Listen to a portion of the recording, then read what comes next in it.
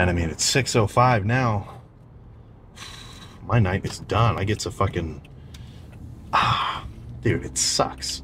So, something about my computer, Fortnite is just bugging.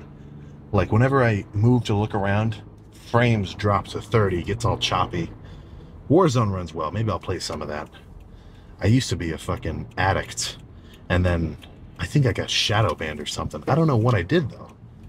It's not like there's fucking team chat in Warzone. But I was going from like hours upon hours a day to zilch. Probably good for me though. You know, I um I try not to say anything too upsetting per se. Like apart from cardio, which I will shamelessly call your lazy ass out on.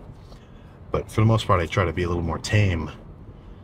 But what wait, what oh yeah.